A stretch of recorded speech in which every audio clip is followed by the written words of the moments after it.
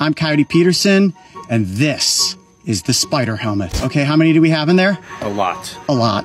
Yeah, of course it's a lot. Yeah, they're, they're crawling all over. Nice and gentle. Nice and gentle. We got some webbing already.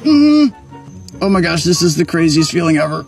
You alright? Mm-hmm, mm-hmm. Okay. Please don't bite me, please don't There bite me. go. Okay. Stage is set. My goal is to try to stay in here for several minutes. And I'm opening my eyes. Oh, wow, that is about as creepy a feeling as it gets.